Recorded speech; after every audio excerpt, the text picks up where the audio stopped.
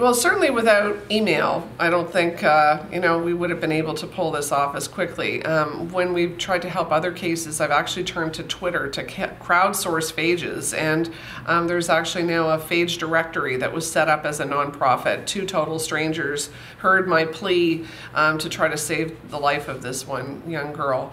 And um, they realized that you know, when I was saying what we need are phage researchers to be able to find patients and vice versa. And so now that directory exists. So um, it, social media was a, is a very powerful tool in this type of, of, of issue. Mm -hmm.